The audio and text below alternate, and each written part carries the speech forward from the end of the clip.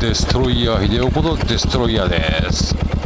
えー、先ほどですね、川木野立の、えー武家屋敷通り行ったんですけどもね、えーもう一箇所ね、えー紅葉のスポットがね、えーこの近くにあるということなんで、えー、抱き返り渓谷っていうんですけどもね、ちょっとまあ変わった名前でしょ。まあその理由はね、私もわかんないです。よろしくお願いします。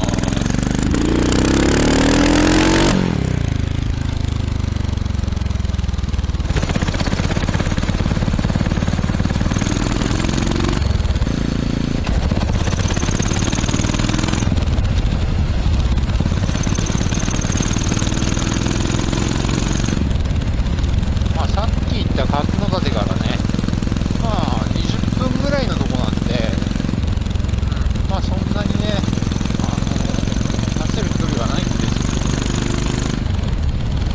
ど、まあ、なんか見る限りはすごく良さそうなとこだったんでね、えー、これからね、一発行きます。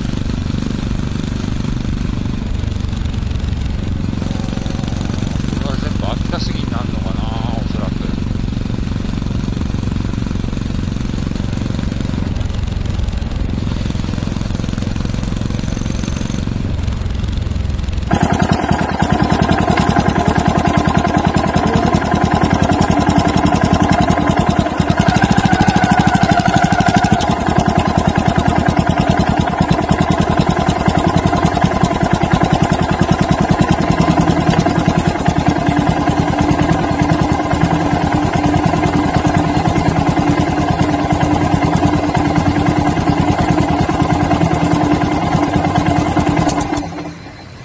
これもあ違います。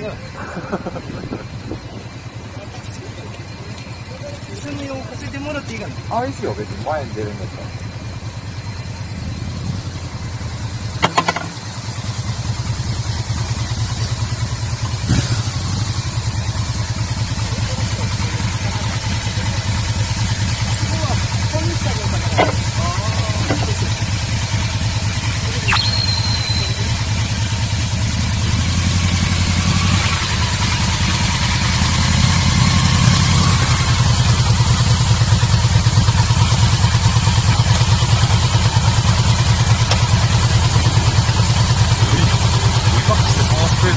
Bye.